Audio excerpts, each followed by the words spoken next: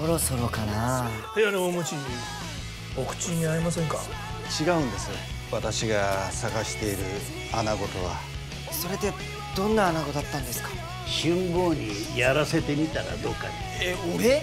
あったかくて溶けてなくなる優しい味。どれが一番近いか食べ比べしてほしいんだけど。次回江戸前の旬第2巻伝統の味穴子10月20日土曜深夜0時。それだ！